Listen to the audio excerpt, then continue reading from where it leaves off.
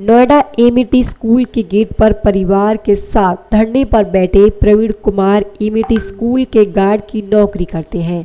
दरअसल ये धरना प्रवीण स्कूल प्रशासन के खिलाफ अपना ट्रांसफ़र करने को लेकर कर रही हैं। प्रवीण ने बताया कि वह नोएडा सेक्टर चौवालीस स्थित एमिटी स्कूल में बीते तीन साल से जॉब कर रही हैं। कुछ दिन पहले ही उन्हें अचानक राजस्थान ट्रांसफ़र कर दिया गया।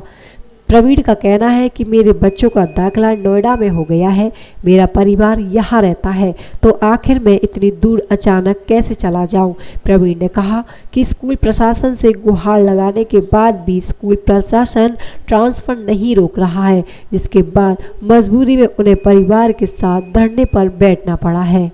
आपका और क्यों आज धरने पर बैठे हैं?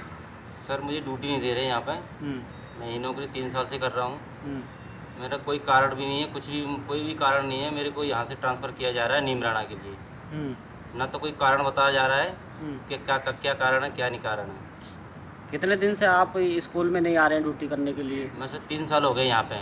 इसके पहले मैं ग्वालियर कर चुका हूँ तीन साल यानी कि टोटल छः साल होने वाला है।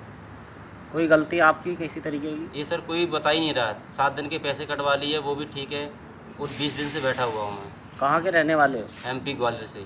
कहाँ पर रहते हो आप? यहीं सदरपुर छलेरी में रहता हूँ। तो किराए पे रहते हो अपने मकान हाँ पे? सर किराए से रहता हूँ।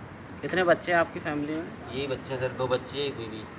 अंदर स्कूल प्रशासन से कोई बातचीत की आपने? हाँ बात की थी मैंने। क्या कहा कोई कुछ नहीं कि आपको ट्रांसफ़र किया जा रहा है जाना है तो जाना है।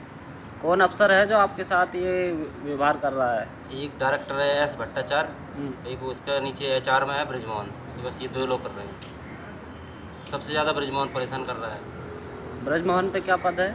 इस पे एच आर में है।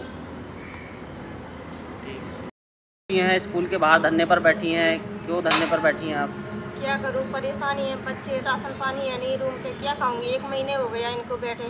बार बार आ रहे हैं वो ये ड्यूटी नहीं दे रहे हैं नीमराना भेज रहे हैं। और हम कहाँ जाएँगे बच्चों को लेके? यहाँ ये पढ़ रहे हैं बच्चे तो फिर वहाँ पे थ्रू जाएँगे इनको लेके। अब बताओ आप क्या करें हम? यहाँ पे कितने टाइम से जॉब कर रहे थे तीन साल हो गए। तीन साल हो गई इनको यहाँ पे। रहने वाले कहाँ के हैं आप? हम ग्वालियर एम पी के। तो आपने कोई बातचीत की अपने पति के साथ जाकर वो अंदर? जान ही नहीं दे रहे बात ही नहीं कर रहे हमसे। वो बोल रहे थे कि ऑफ़िस का मामला है आप क्या करोगी बात करके?